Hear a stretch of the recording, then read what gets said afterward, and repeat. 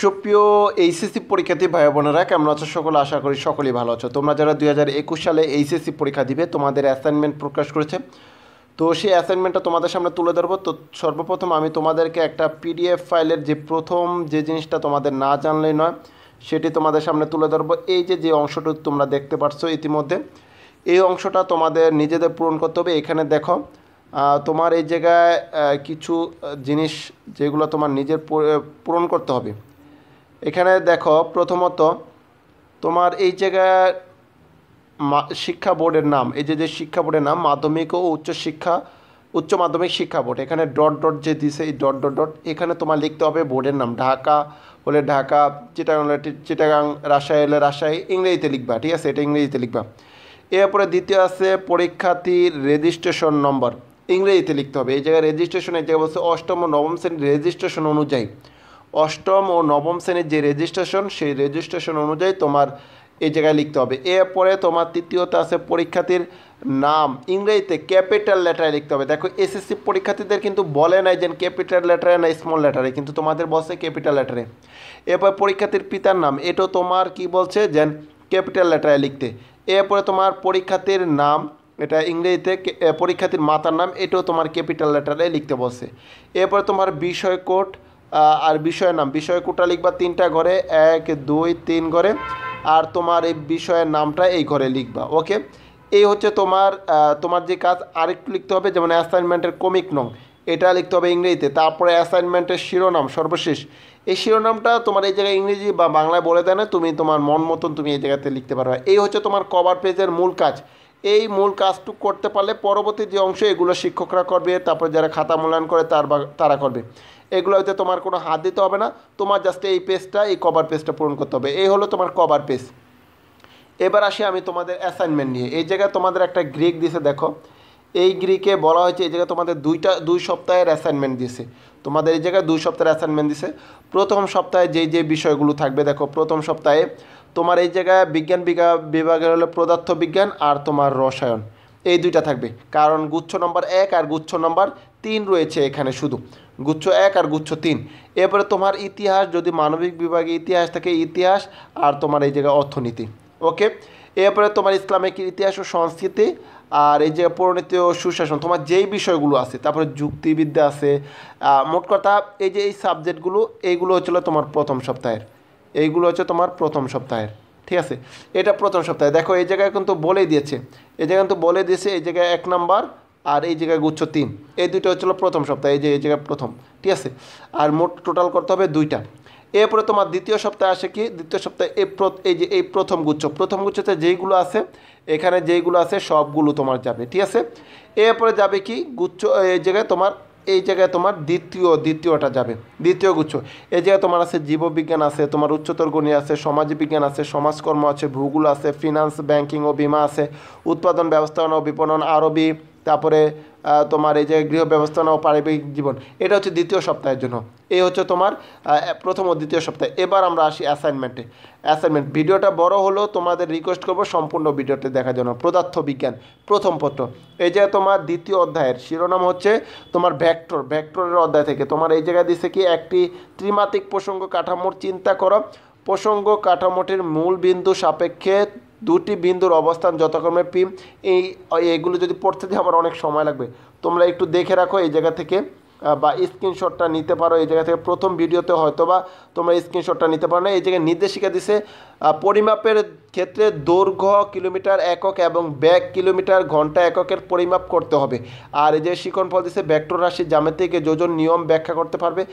তারপরে লম্বাংশের সাহায্যে ভেক্টর রাশির যোজন ও বিয়োজন বিশ্লেষণ করতে পারবে। তারপরে আছে একটি ভেক্টরকে ত্রিমাত্রিক আয়তকার বিস্তারের ক্ষেত্রে লম্বাংশে বিভাজন করতে পারবে। এই হচ্ছে পদার্থবিজ্ঞান প্রথম প্রথম সপ্তাহের যে অ্যাসাইনমেন্ট সেই অ্যাসাইনমেন্টের কাজ। আর এরপরে আসে তোমাদের দ্বিতীয় দ্বিতীয় যেটা, সেটি হচ্ছিল দ্বিতীয় পত্র। এটা দ্বিতীয় সপ্তাহের অ্যাসাইনমেন্টের এটা দ্বিতীয় অধ্যায় থেকে, তাপ ও গতিবিদ্যা থেকে।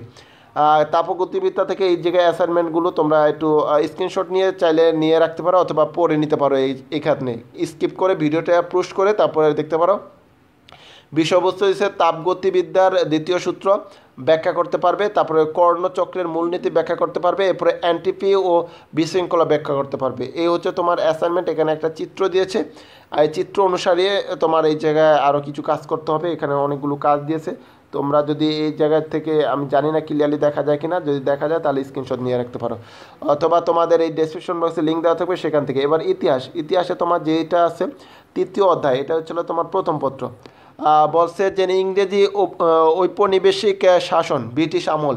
এই জায়গায় অ্যাসাইনমেন্ট হচ্ছে খিলাফত আন্দোলন ও অসহযোগ আন্দোলনের প্রকৃতি এবং উনিশশো সালে লাহোর প্রস্তাব এর বৈশিষ্ট্য নিরূপণ।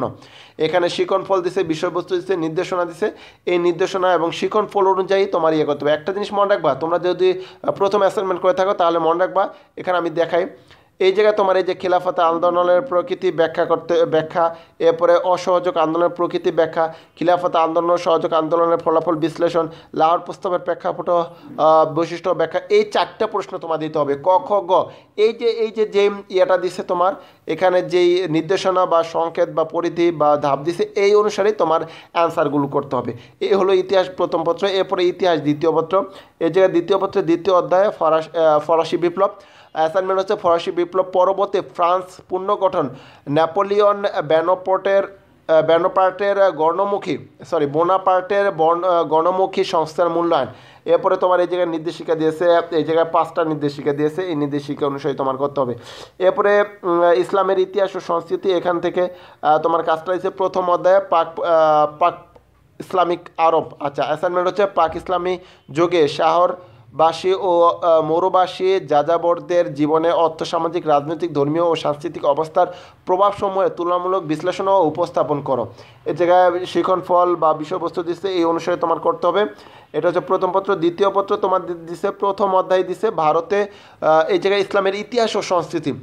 বলছে ভারতের মুসলিম মুসলিম শাসন প্রতিষ্ঠা। যে অ্যাসাইনমেন্ট দিচ্ছে ভারতে মুসলিম শাসন প্রতিষ্ঠার সময় পরিক্রমা অনুযায়ী উল্লেখযোগ্য ঘটনাবলী সংক্ষিপ্ত বিবরণ সহ একটি পোস্টার পেপার তৈরি করতে বলছে। এটা হচ্ছে অ্যাসাইনমেন্ট টু ঠিক আছে? দ্বিতীয় সপ্তাহের জন্য। এই জায়গায় এই হচ্ছে তোমার অ্যাসাইনমেন্ট টুর ইয়ার। এরপরে ব্যবসা, গঠন ও ব্যবস্থাপনা থেকে দিছে।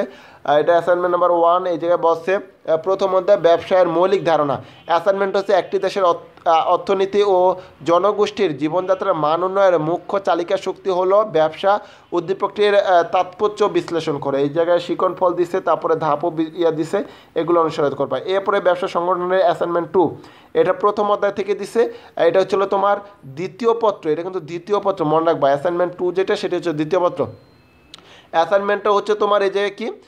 এই জায়গায় অ্যাসাইনমেন্টটা হচ্ছে তোমার যেন এই যে একটি প্রতিষ্ঠানের সার্বিক সাফল্য নির্ভর করে ব্যবস্থাপনার মৌলিক কার্যবলী বিশ্লেষণ ও প্রয়োগের উপর উক্তির যথার্থ মূল্যায়ন করো। এই হচ্ছে অ্যাসাইনমেন্ট তোমার এই জায়গায় নির্দেশনা অনুযায়ী করতে হবে। এরপরে তোমার আসে ইসলাম ইসলাম শিক্ষা। ইসলাম শিক্ষার প্রথম অধ্যায়, ইসলাম শিক্ষা ও সংস্কৃতি। এই জায়গায় তোমার কাজটা হচ্ছে অ্যাসাইনমেন্ট হচ্ছে সামাজিক অবক্ষয় রোধে ইসলামিক ইসলামী শিক্ষার গুরুত্ব বিশ্লেষণ করতে হবে, ঠিক আছে? এরপরে তোমার আসে ইসলামের ইতিহাস, এটা দ্বিতীয় পত্র। এই জায়গায় বসে আল কোরআন থেকে সুরা আল বাকারা আট থেকে দশ আয়াতের অর্থ শিক্ষা ও মুনাফিকের বৈশিষ্ট্য বিশ্লেষণ করতে বলছে, ঠিক আছে? পরবর্তীতে যারা অ্যান্সার করবে, এগুলোর অ্যান্সার দিবে সেইগুলো বিস্তারিতভাবে তারা বলে দিবে। এরপরে আছে শিশু বিকাশ। এই জায়গায় প্রথমত শিশু বিকাশের ধারণা। বলছে, জন্ম মুহূর্ত থেকে শিশুর বিকাশ নির্দিষ্ট কিছু নিয়ম অনুসরণ করে নতুন নতুন স্তরে পদার্পণ করে এবং প্রতিটি পর্যায়ে বিকা- বিকাশের বিভিন্ন ক্ষেত্র উন্মোচিত হয়। বিষয়টির উপর প্রতিবেদন রচনা করতে বলছে, এটা হচ্ছে অ্যাসাইনমেন্ট শিশু বিকাশের। যারা এরপরে তোমার শিশু বিকাশের দ্বিতীয় যে অ্যাসাইনমেন্টটা সেটি হচ্ছিল তোমার এই জায়গায় বসছে চতুর্থ অধ্যায়ের বিশেষ চাহিদা সম্পূর্ণ শিশু। অ্যাসাইনমেন্ট হচ্ছে বিশেষ চাহিদা সম্পূর্ণ শিশু শনাক্ত করে স্বাভাবিক জীবনে যাপনের জন্য মূল স্রোতধারায় আনয়ন বিষয়ে প্রবন্ধ রচনা লিখতে বসে এইগুলো তোমার এরপরে লোকসঙ্গীত, লোকসঙ্গীতে বসে প্রথমত বাংলা গানের উৎপত্তি ও কর্মবিকাশ। অ্যাসাইনমেন্ট হচ্ছে বাংলা গানের ধারার বাউল গান ও বাউল দর্শন। এটা নিয়ে তোমার লিখতে বসে এরপরে তোমার ওই জায়গায় অ্যাসাইনমেন্টে তোমার নির্দেশনা অনুযায়ী করবা, ঠিক আছে? লোকসঙ্গীতের দ্বিতীয়টা হচ্ছে তোমার দ্বিতীয় পত্র থেকে বাংলা গানের ধারা। এই জায়গায় লোকসঙ্গীতের বিভিন্ন ধারা বর্ণনা করতে বসে এই জায়গায় কোন তার, এই জায়গায় তোমরা, আমি বলে রাখি, কাজ হচ্ছে কোন তার, এই যে এইগুলো এইগুলো হচ্ছে তোমার কাজ। ক্লিয়ার এই কাজগুলো করতে হবে। এই জায়গায় যেগুলো দিবে এই নির্দেশিকা বা ধাপ অনুযায়ী। এরপরে জীববিজ্ঞান। জীববিজ্ঞানে বসে কোষ বিভাজন দ্বিতীয় অধ্যায় থেকে। বসে মিউসিস বিভাজনের সময় ক্রসিং ওভারের ফলে জিনগত পরিবর্তনের মডেল বিশ্লেষণ করতে বলছে। এখানে অনেকগুলো নির্দেশিকা দিয়েছে। এই নির্দেশিকা অনুযায়ী তোমরা করবা, ঠিক আছে? কোথায় গেল? জীববিজ্ঞান জীববিজ্ঞান জীববিজ্ঞান। এই জীববিজ্ঞান প্রথম পত্র। এই জায়গায় অনেকগুলো দিছে এরপরে আসে উচ্চতর গণিত। উচ্চতর গণিতে এই জায়গায় ম্যাকটিস ও নির্ণায়কের থেকে অঙ্ক দিয়েছে। এই হচ্ছে তোমার অ্যাসাইনমেন্ট দু হাজার একুশ সালের একটি কারখানা বিভিন্ন শাখার কর্মরত শ্রমিকদের তালিকা দেওয়া আছে। এটা অনুযায়ী তোমার করতে হবে, যারা অ্যান্সার করবে অ্যান্সার করার করবে যারা, তারা এগুলো বিস্তারিতভাবে বলে দিবে। এবং সমাজবিজ্ঞান থেকে বলছে কি প্রথম অধ্যায় সমাজবিজ্ঞানের উৎপত্তি ও বিকাশ। এখানে অ্যাসাইনমেন্ট সামাজিক বিজ্ঞান হিসাবে সমাজবিজ্ঞানের উৎপত্তি ও পটভূমি ও বিকাশ।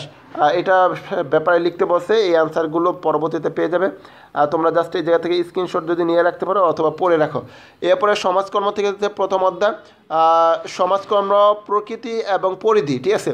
এই যে বলছে ডব্লিউ এ ফিডল্যান্ডার এবং অ্যানসাইক্লোপিডিয়ার অফ সোশ্যাল ওয়ার্ক প্রদত্ত সমাজকর্মের সংজ্ঞার আলোকে সমাজকর্ম শিক্ষার প্রয়োজনীয়তার পক্ষে যুক্তিকতা দেখাতে বলছে আর কি।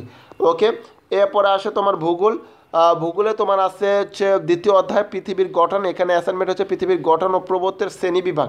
এখানে তোমার এই যে নির্দেশিকা অনুযায়ী, এই নির্দেশিকা অনুযায়ী কোনটা তোমার কাজ করতে হবে, ঠিক আছে? এই নির্দেশিকা অনুযায়ী তুমি কাজ করবে অ্যান্সার দিবা।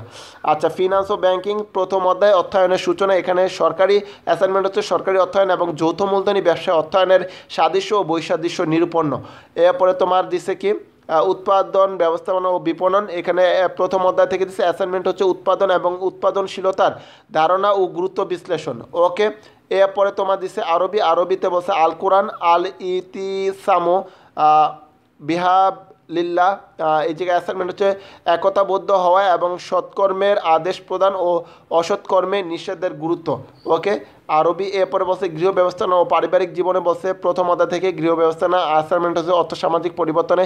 পারিবারিক জীবনে গৃহ ব্যবস্থাপনা শিক্ষার প্রয়োজনীয়তা বিশ্লেষণ করতে বলছে। এরপরে তোমার রসায়ন দিচ্ছে দ্বিতীয় অধ্যায়, এটা কিন্তু প্রথম সপ্তাহের জন্য। গুণগত রসায়ন, এই জায়গায় পরমাণুর মডেল ও ইলেকট্রন বিন্যাস ইলেকট্রন বিন্যাস, এই জায়গায় তোমার মনে রাখতে হবে। কাজ কিন্তু এই যে এইগুলা, ঠিক আছে? এইগুলো কিন্তু কাজ। এইগুলো তোমার কাজ, এই জায়গায় নির্দেশনা অনুযায়ী কাজ করবে। এরপর অর্থনীতিতে অর্থনীতি এটা প্রথম অধ্যায় মেবি দ্বিতীয় অধ্যায় দ্বিতীয় অধ্যায় থেকে দিছে, ভোক্তা ও উৎপাদকের আচরণ। এই জায়গায় তোমার অ্যাসাইনমেন্ট অনেকগুলো দিছে। একজন ভোক্তার মোট সাত একক দ্রব্য ভোগের ক্ষেত্রে এই জায়গায় তোমার অ্যাসাইনমেন্ট এই হচ্ছে তোমার অ্যাসাইনমেন্ট এই অনুযায়ী তুমি করবা, ঠিক আছে? এটা পুরোটা পড়তে পারলাম না, তোমরা পড়ে নিও। এরপরে পৌরনীত সুশাসন থেকে দিছে প্রথম অধ্যায় পৌরনীত সুশাসন পরিচিতি। অ্যাসাইনমেন্টসে নাগরিক নাগরিকতার সাথে জড়িত সকল প্রশ্ন সম্পর্কে যে শ্রাম- আলোচনা করে তাই পরিণতি। ই এম হোয়াইটের এই সংজ্ঞার আলোকে পরিণতি ও সুশাসনের বৈশিষ্ট্য, বিষয়বস্তু ও পরিধি ক্রমবিকাশ সম্পর্কে একটি নিবন্ধন, নিবন্ধ রচনা করো। ঠিক আছে? এরপরে যুক্তিবিদ্যা দিচ্ছে প্রথমত যুক্তিবিদ্যা পরিচিতি, যুক্তিবিদ্যা বিজ্ঞান ও কলা উভয়ই ধারণাটি যথার্থ চাই। এটা নিয়ে লিখতে বসছে এরপরে দিচ্ছে হিসাব বিজ্ঞান হিসাব বিজ্ঞান তোমাদের একটা অঙ্ক দিয়েছে, দ্বিতীয় অধ্যায় থেকে হিসাবের বৈষম্য। এ জায়গায় বলছে তিস্তা বিপ বিপণনী বিতানের নির্দিষ্ট খতিয়ানের একত্রিশে মে দুই হাজার একুশ তারিখে উদ্ধৃত সময় যথাক্রমে নগদ বত্রিশ হাজার টাকা, অফিস সরঞ্জাম তিরিশ হাজার টাকা, প্রাপ্য হিসাব পঁচিশ- হাজার টাকা, প্রদায় হিসাব আঠারো হাজার টাকা, জুন দুই হাজার একুশ ইং তারিখের সংগঠিত ঘটনাসমূহ নিম্নে উল্লেখ করা হলো। জুনের দুই তারিখে কি হয়েছে দেখো, মালিক নগদ দশ হাজার টাকা এবং তিরিশ হাজার টাকা সরঞ্জাম ব্যবসা নিয়ে বিনিয়োগ করেন। তারপরে এগুলো অনেক ভাই, এগুলো তোমরা একটু দেখে নাও। এই এন্ট্রিগুলো এই জায়গায় তোমার কি বলছে? অ্যাসাইনমেন্ট বা কাজ হচ্ছে হিসাব চক্রে ধাপ অনুসরণ করতে হবে, ঘটনা হতে লেনদেন শনাক্তকরণ, এরপর হিসাব সমীকরণ লেনদেন প্রভাব বর্ণনা করতে বলছে, খতিয়ানে পোস্টিং ও জ্যান নির্ণয় করতে হবে নগদান বই প্রস্তুত করতে হবে, ঠিক আছে? নগদান বই প্রস্তুত করতে হবে। এরপর খাদ্য পুষ্টি থেকে বলছে, মৌলিক খায় খাদ্য গোষ্ঠী ও সুষম খাদ্য। তোমার পরিবারের আয় অনুযায়ী নিজের একদিনের সুষম খাদ্যের তালিকা প্রণয়ন। এরপরে তোমার দিছে কি? দেখি, উচ্চতর সংগীত, এই জায়গায় বলছে, দ্বিতীয় অধ্যায় সঙ্গীতিক পরিবেশ, এই জায়গায় বলছে ঠাট ও রাগের স্বরূপ বিশ্লেষণ। এরপরে দিছে দ্বিতীয়টা দিছে, উচ্চাঙ্গ সঙ্গীতের অ্যাসাইনমেন্টের ঠাট ও রাগের স্বরূপ বিশ্লেষণ, এটা দ্বিতীয়তে সঙ্গীতের পরিভাষা। এরপরে দিছে, লাস্টে যেটা আছে অ্যাসাইনমেন্ট এটা প্রথম অধ্যায় পরিভাষা থেকে সমপদী ও বিষমপদী তলের একগুণ, দ্বিগুণ, তিনগুণ ও চৌগুণ বর্ণনা, ঠিক আছে? এই হচ্ছে তোমাদের অ্যাসাইনমেন্ট অ্যাসাইনমেন্ট নিয়ে যদি কোনো প্রশ্ন থাকে, অবশ্যই কমেন্ট বক্সে লিখবা। ভালো থেকে, সুস্থ থেকে। ফিরছি পরবর্তী কোনো অ্যাসাইনমেন্ট বা অ্যাসাইনমেন্টের অ্যান্সার বা আপডেট নিয়ে, সে পর্যন্ত আল্লাহ হাফেজ।